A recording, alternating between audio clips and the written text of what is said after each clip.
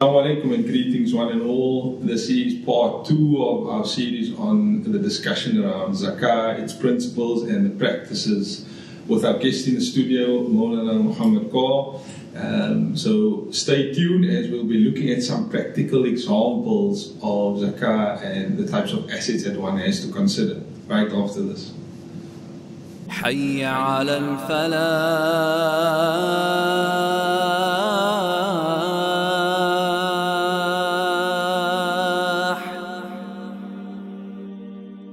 Assalamu alaikum, welcome back uh, with our guest in the studio, Maulana Muhammad Carr, one of the board members of the Sharia Advisory Board with Camissa Asset Management. And we are continuing in part two of our discussion on zakah. Assalamu alaikum Maulana. Wa alaikum assalam wa rahmatullahi ta'ala wa barakatuh. Welcome back and we're continuing our discussion on zakah, uh, very pertinent and one of the arkans of Islam and for Muslim viewers and subscribers, uh, quite quite an important discussion that we're having to create awareness around this this topic. Um, in the previous in the previous episode, we discussed on the basic principles of zakah, and just to pick up where we left off, where we we initially spoke about nisab, I think uh, then to look at ownership of assets, um, and perhaps one can look at pension funds in that regard because it's not you own it, but you not necessarily have access to it mm. during your working career. Mm. And then also looking at assets um, that have growth and assets that don't grow necessarily. Mm. So we can start with them on inshallah. Jazakallah khair, thank you once again for the opportunity. And uh, we had looked at certain assets are subject to zakat. Yes.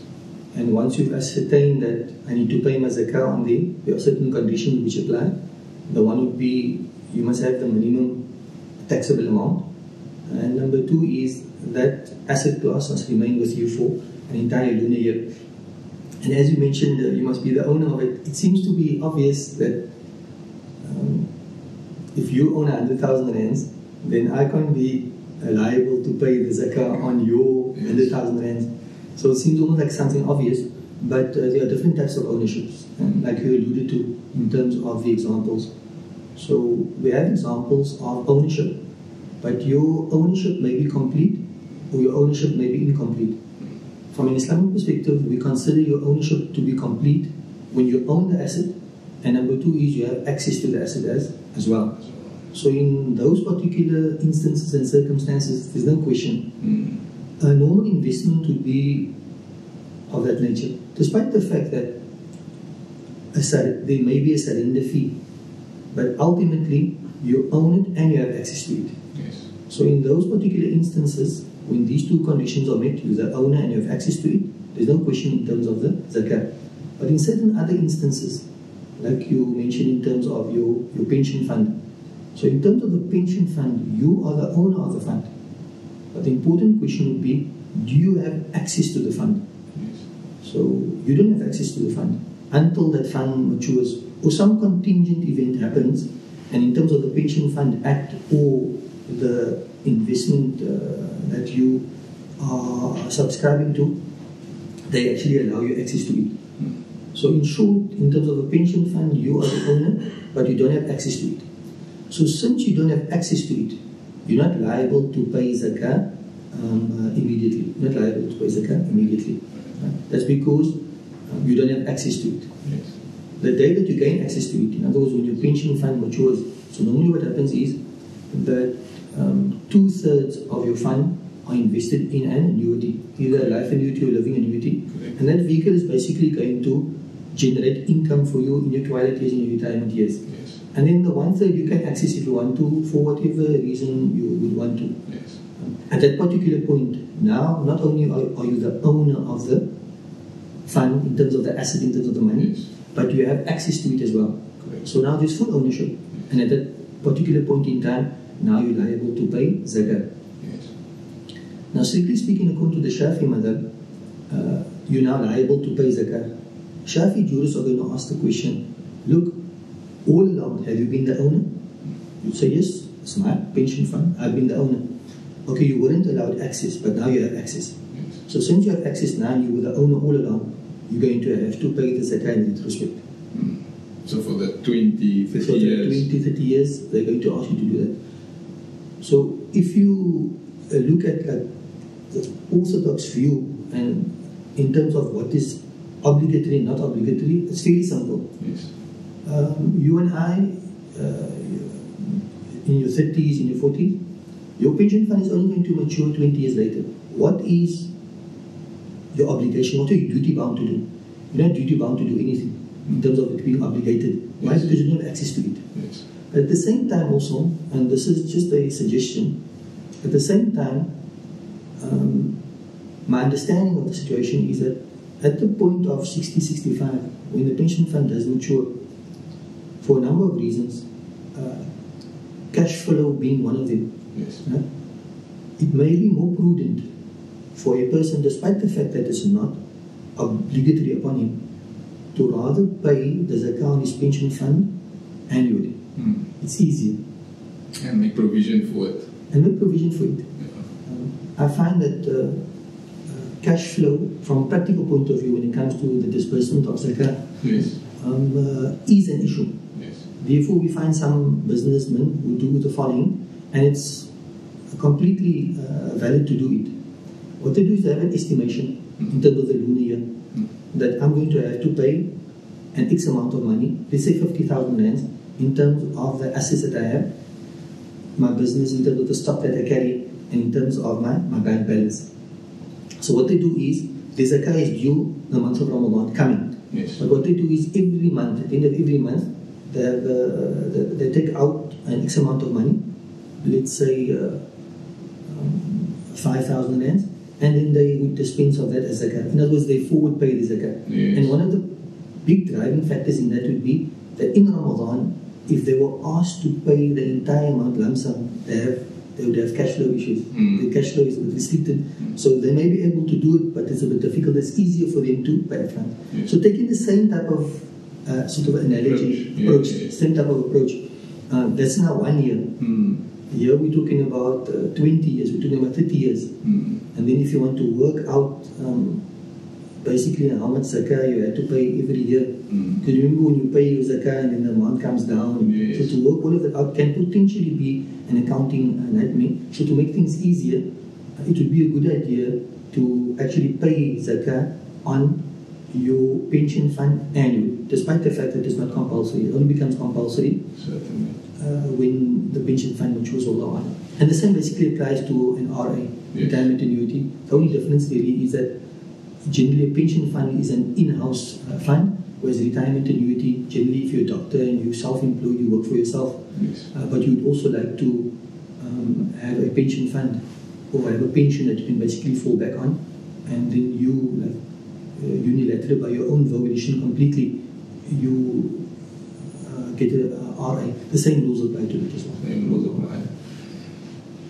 Maulana, so, so we've looked at retirement funds. It's, it's a very common thing, uh, I think, within our community, in the country that we live in, many other people globally. Um, we've, we've looked at fiat currency, so that's the normal cash that we look at in our bank.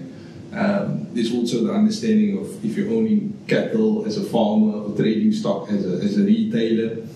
Um, the more, I'd say, modern phenomena for the last decade or so is cryptocurrencies.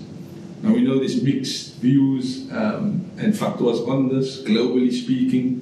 Uh, but obviously, in the South African context, there are Muslims that um, have invested in this type of asset. It's a virtual currency, whether you are speculating or whether you are holding it as an investment. What is the view on that from a zakah point of view? I think uh, when we look at, we were speaking uh, earlier on in terms of uh, zakat, and there are certain asset classes which are subject to zakat, and then there are certain asset classes which are not subject to zakat. One of the examples that we gave was fiat currency. It's no longer gold and silver, which is like a money commodity. Money, money commodity means that it serves all the purposes that our currency serve, but in and of itself, it also has a value. So we refer to it as money commodity. We've moved away from money commodity to like fiat currencies, Yes. and now we find that there's like cryptocurrency, which is like a digital currency. Yes. So our scholars generally differ in this particular regard when it comes to uh, cryptocurrencies. Interestingly, when I'm faced with a new phenomenon, I like to look at the wording, Yes. you know, like the, the makeup of the construct. Cryptocurrency is a construct. So currency we're familiar with. Yes. What does crypto mean? Yes. And in terms of the etymology of the word crypto, crypto basically means to be hidden. Yes. Uh, so crypto, digital, in other words, you can't see, feel, and touch it. It's not tangible. Uh, fiat money is uh, very much tangible, Yes. but cryptocurrency isn't. It's encrypted, yeah. Is encrypted.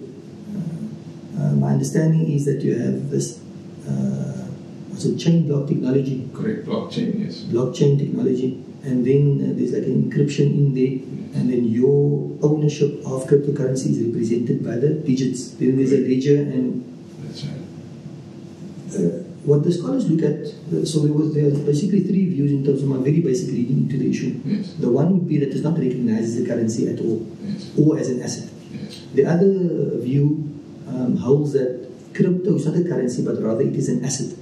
And the last view, uh, which seems to be the preponderant view, and which seems to be the view that makes most sense or that accords to the reality of cryptocurrency, and that is that um, cryptocurrency it's uh, well and it's a currency. It's not an asset. It's not nothing. Yes. So people ask, but you know, you can't see, feel, and touch it. There are many phenomena that we can't see, feel, and touch. Certainly. The oxygen that we breathe, Yes. um, we can't see, feel, and touch it. But is it there? Definitely, it is there. And I think a proof to underscore the reality or the existence of a cryptocurrency is there's a conversion. If you want to buy cryptocurrency, what happens is you're going to pay in rands, and then those rands are converted. The- It's registered, and it impacts in terms of the digits that you hold Yes. and a value is attached to that so much so that you can uh, purchase uh, something with that you can pay for services with that so despite the fact that it's not tangible it's still a, a real phenomenon Yes. so my basic understanding of, of, of cryptocurrencies is that the very justification for fiat currencies is the same justification for for cryptocurrencies Yes. and when we make an argument that, like gold and silver, that fiat currencies are subject to zakat, in the same way, um, cryptocurrencies would also be subject to zakat. Because ultimately, it's a medium of exchange. Yes. Uh, cryptocurrency is a novel medium of, e- uh, of exchange. Um, I didn't know this particular term. Uh, uh, you're basically just paying for something through a uh, what's a peer-to-peer system. I think that's the term that they to right. it. That's So in other words, I don't pay you directly. Yes. I purchase something from you, then I pay via an agency. Yes. That agency is called a peer-to-peer system, and the agency basically happens to be a cryptocurrency and the infrastructure which basically supports that. So if you have a few uh, cryptocurrencies um, that is hidden somewhere, Yes. then you will have to pay account. In terms of my understanding of those ways. And certainly the, the conditions of that you have to be valid for uh, one year lunar uh, calendar year, so to say, Absolutely. and then Yeah. also ownership of it. Absolutely. Well, uh, we, we understand that there's a criteria of who can receive zakah. Um, can uh, I think a very practical question. Are you, once you've calculated your zakah, you know exactly what you now need to um, pay or distribute as zakah. Can one also distribute your zakah in kind?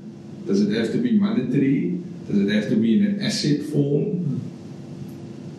Um, subhanAllah, that's also a very uh, good question.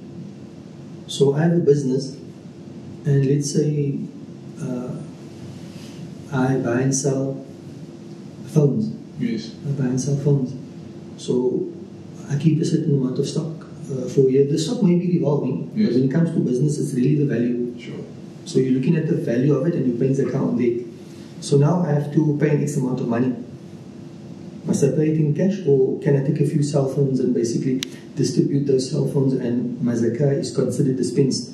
In terms of the Shafi school of thought, we say no, uh, one cannot do that. Mm. When it comes to uh, business assets and stock, then you need to work out the value and that value must be paid in uh, the currency in vogue. So here in South Africa, basically, you're going to be paying in in rands. Uh, and Allah SWT knows best. Look, um, uh, that's a fixed asset. Mm. It's a solid asset. Yes. Uh, Fixed asset, Yes. solid asset. But now when you convert it to, to money, it becomes a liquid asset. Certainly. So the, the liquidity of your zakat, the 2.5%, uh, logically is uh, to the benefit of the of the recipient. Yes. In other words, they may not need a cell phone. Mm. You know, uh, I have a spice business. The poor person might not need spice, but I'm dispensing of my zakah in the form of, of spice. Yes. But the universal uh, value and the medium of exchange would be money, so it should be paid in value in, in money. There are other views in Allah subhanahu space, like in terms of the Hanafi school of thought, that actually permit it on condition that it's actually in the interests of the recipient. Certainly. The interest of the recipient. It also brings to mind another very important uh, consideration when it comes to when it comes to zakat, and in terms of the recipients, we should always be doing what is in the best interest of the recipient. Yes. Uh, and sometimes uh, uh, we have our own consideration, but our consideration, the Sharia actually doesn't um, acknowledge it. For example, you say, okay, I must pay 5,000 rands. What I'm going to do is, I'm going to take this 5,000 rands and I'm going to buy groceries Yes. and I'm going to distribute the grocery parcels.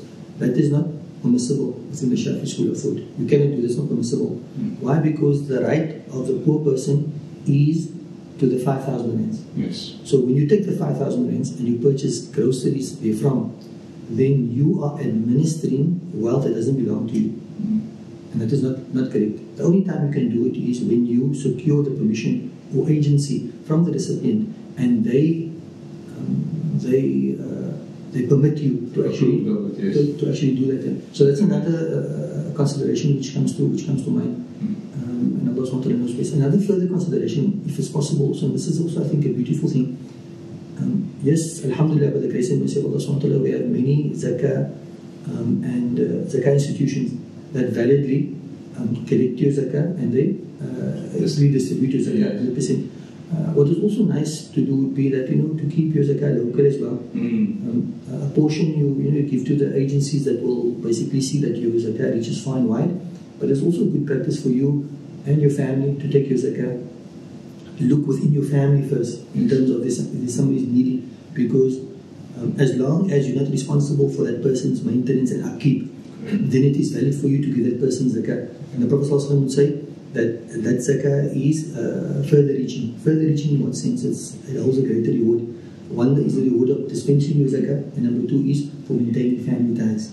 So, from an Islamic perspective, um, that would be highly encouraged um, to actually take your zakah and look first within your uh, immediate or extended family and see if there's a person in need and give uh, him or her your zakah So much to discuss on this topic, Maulana. Shukran for, for your time. Allah reward you for that for the efforts. Um, yeah, I mean, hope, I hope that uh, the viewers have benefited from the two-part series that we've had on zakah, and it will be helpful for you in calculating your zakah and how to practically deal with it from your end. Uh, until next time, fi amanillah, shukran, assalamu alaikum wa rahmatullah. حي على الفلاح